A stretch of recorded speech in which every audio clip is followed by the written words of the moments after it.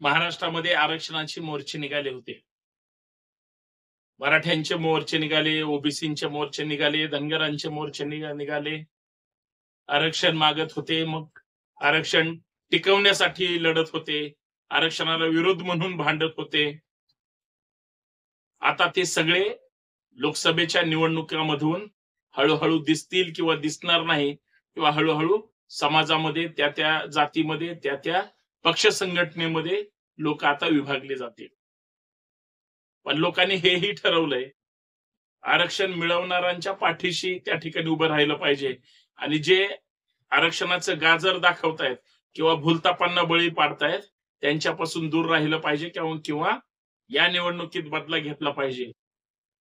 आणि अशीही काही लोक आहेत की आता निवडणुकांमध्ये तुम्हाला तुमची जागा दाखवू.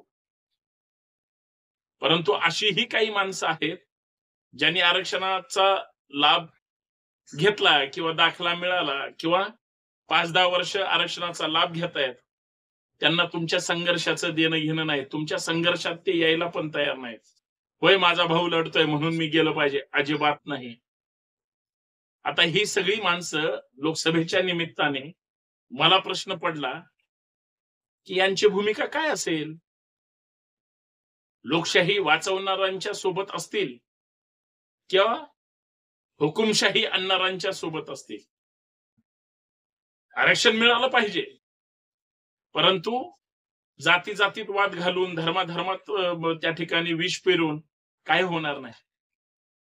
आरक्षण मागणाऱ्या किंवा लढणाऱ्या नेत्याला बदनाम करून तुमचं किती दिवस त्या ठिकाणी दुकान चालणार? नाही चालणार. पण हीच नेते आता जर जातीवर उतरले तर? राजकीय पक्षांचं तर असतं. त्यांना हेही पाहिजेत आणि हेही पाहिजेत. कोणाचंही मन दुखून त्यांना त्यांचं राजकारण ते साध्य करू शकत नाहीत पण ह्या सगळ्या राजकीय घडामोडीमध्ये कोण नेता कुणाला जवळ करतोय तर कोण नेता कुणाला दूर लोटतोय हेही याच महाराष्ट्रामध्ये प्रत्येक जणांनी पाहिलंय. मित्रांनो बदला घेण्याची वेळ नक्कीच आली.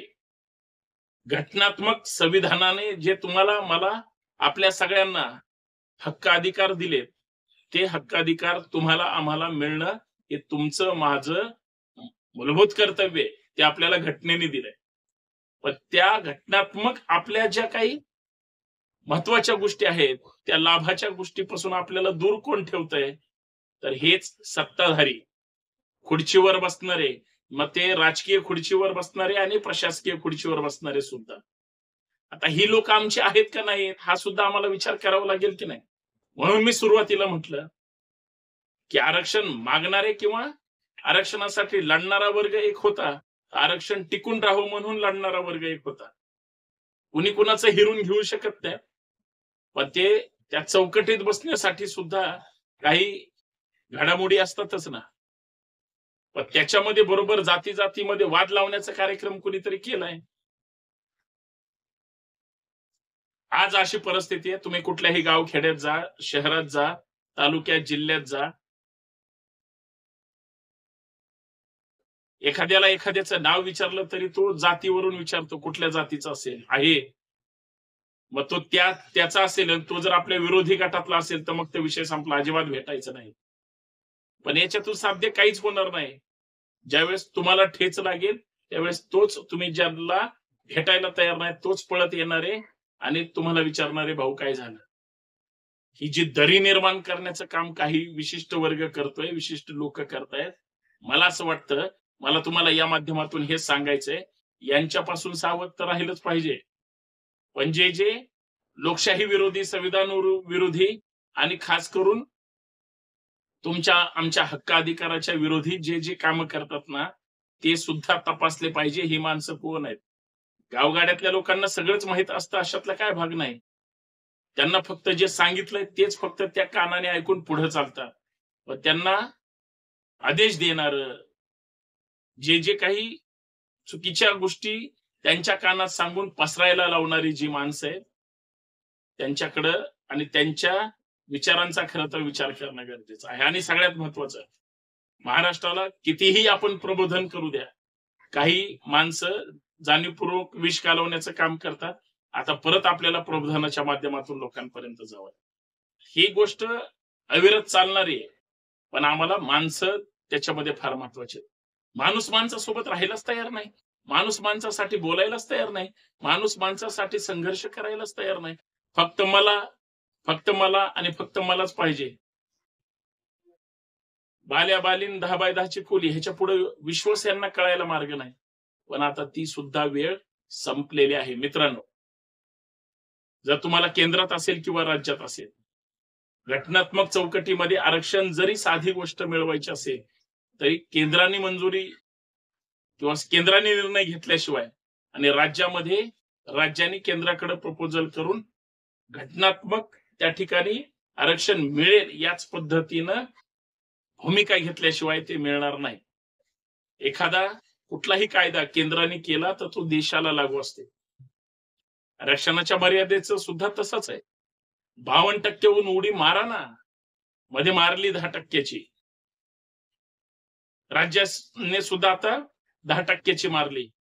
पण चॅलेंज करण्यात आलं. केंद्राने जे दहा टक्के वाढवलं त्याला चॅलेंज झालं का?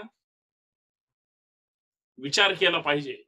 केंद्राने जे दहा टक्के दिलं त्याला चॅलेंज का झालं नाही? कारण त्यांनी ज्या देशाच्या सर्वोच्च सभागृहामध्ये जो कायदा केला जे कायदे मंडळ आहे तिथलं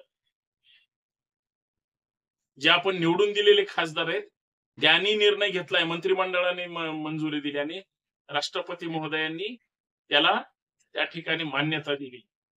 तो कायदा सर्वोच्चच आहे. तसंच जर राज्यामध्ये आरक्षणाचे लढे सुरू आहेत.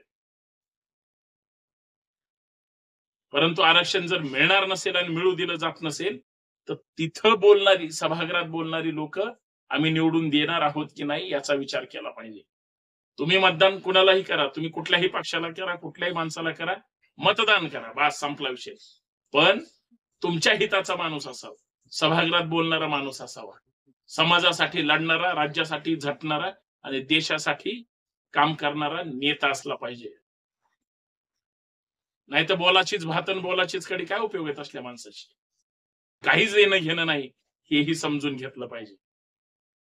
म्हणून मला एवढंच वाटतं आणि एवढंच सांगावं असं वाटतं की या देशात लढणाऱ्या लोकांना आता संधी आहे. तुमचे कोण आपले कोण आणि परके कोण? ते जाती धर्माच्या उतरंडी थोड्या बाजूला ठेवा.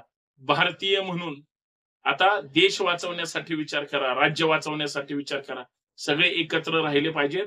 गुन्ह्या गोविंदाने जगले पाहिजेत. इथंच नांदले पाहिजेत. सुख दुःखात एकत्र आले पाहिजेत. अशी लोकशाही मजबूत करून तुमच्या माझ्या हक्काचं मिळालं पाहिजे. यासाठी प्रयत्न केला पाहिजे. हाच महत्त्वाचा विचार आहे. धन्यवाद. जय जाऊ जय शिवराय. जय महाराष्ट्र जय संविधान